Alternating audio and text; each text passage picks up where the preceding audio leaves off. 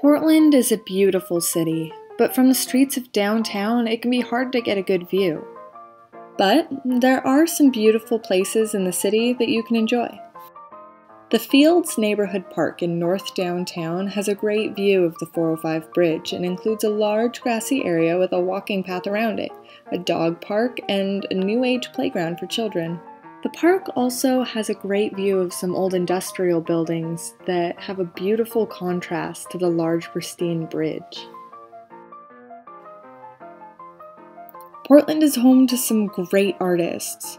These two pieces, painted on the side of buildings on Stark Street between 10th and 11th Street, are prominent works in downtown, but only represent a small portion of what Portland street art has to offer. The bridges of Portland are iconic, so the waterfront is a must see spot. Great for biking, running, sightseeing, and enjoying time in the park, the waterfront offers a beautiful view of the water and Portland's many bridges across the river. It's not called Bridge City for nothing. If you're willing to trek upwards a bit, the hills around downtown can offer a view over the entire city. This view from a residential area in the hills by Southwest Campus is just one of the many viewpoints that you can find around Portland, without even having to leave downtown.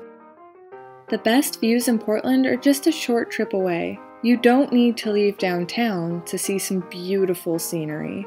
You just need to get outside. This is Kara Erny with The Vanguard, signing off.